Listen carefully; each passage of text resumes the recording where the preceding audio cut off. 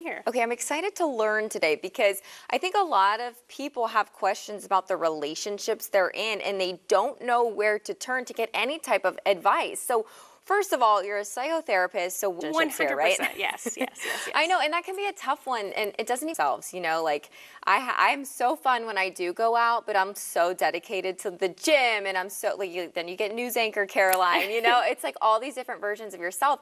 So it can feel a little overwhelming to get to, to, show all those sides right. to one person.